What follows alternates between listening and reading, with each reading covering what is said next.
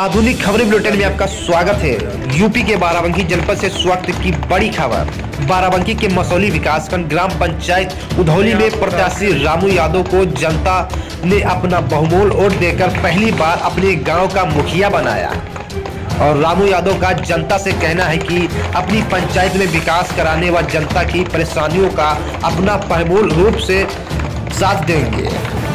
और पंचायत में आने वाली सभी योजनाओं का शत प्रतिशत लाभ जनता को तक पहुंचाएँगे। फ़िलहाल ये रिपोर्ट अभिषेक कुमार की। खबर समझते हैं विस्तार से। प्रधान ये कौन सी ग्राम पंचायत है? ग्राम पंचायत उधौली। और ब्लॉक कौन सा मसौली।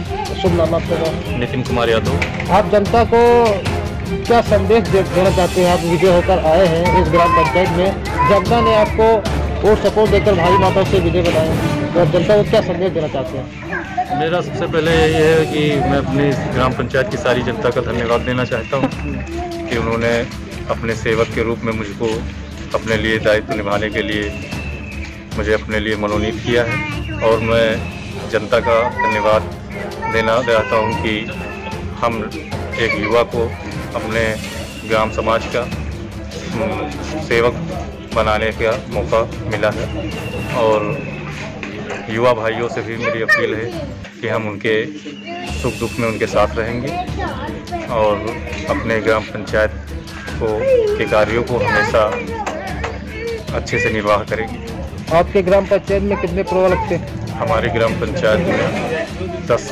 ग्राम पंचायत बारह बारह। आते हैं हाँ। आप जनता के लिए क्या विकास कार्य कराओगे आगे वर्तमान समय में कुछ जानकारी दीजिएगा इसके बारे में। हाँ, विकास कार्य यही है कि अब जो जितनी भी योजनाएँ सरकार के द्वारा आएँगी तो मैं अपने ग्राम सभा की सारी जनता को उन्हें सीधा लाभ दिलाने की कोशिश करूँगा और हम उनके का सुख दुख में हमेशा खड़े रहेंगे उनका प्रधान सेवक बन के जो ये कोरोना महामारी चल रही है जी। इसमें अपनी जनता को क्या संदेश देना चाहेंगे? कोरोना बीमारी में यही कहना चाहता हूँ कि सबसे पहली बड़ी बात यही है कि हम लोग अपना सोशल डिस्टेंसिंग का पालन करें और सबसे पहले बात यह है कि अपने आप को बचाएँ और दूसरों को भी बचाएँ इससे।